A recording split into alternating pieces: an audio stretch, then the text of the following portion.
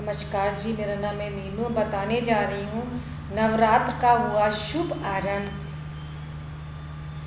पैसों की बढ़ोतरी के लिए करें ये काम। एक अक्टूबर से नवरात्र का प्रारंभ हो रहा है। भारत में हर पर्व ऋतु, इतिहास, भूगोल, आकाशीय ग्रह एवं नक्षत्र परिवर्तन, विज्ञान, संस्कृति व परंपरा आदि से जुड़ा हुआ है। नवरात्रा वस्तुता दो ऋतुओं का संगम है। जब छः महीने बाद ऋतु परिवर्तन होता है, इन मौसम में गर्मी व सर्दी ही मुख्य रूप से मानव जीवन को प्रभावित करते हैं।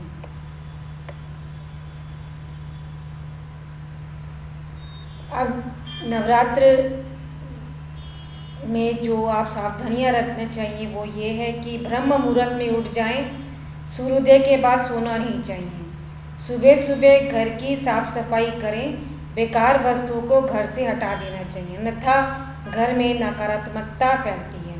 शास्त्रों के अनुसार लक्ष्मी जी का वास वहीं होता है जहाँ सुंदरता एवं पवित्रता हो। यथासंभव घर की सफ़ाई एवं सजावट करें। रूप और सौंदर्य की प्राप्ति के लिए शरीर पर उपटन लगाकर स्नान करना चाहिए।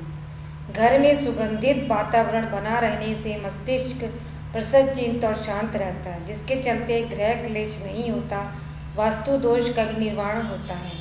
तन मन पर सुगंध अपना विशेष प्रभाव डालती है। क्रोध ना करें, जीवन साथी से तू तू मैं मैं ना करें। शाम को सोने से व्यक्ति लक्ष्मीहीन होकर दुर्भाग्य को पाता है। मांस और मदरा का सेवन ना करें।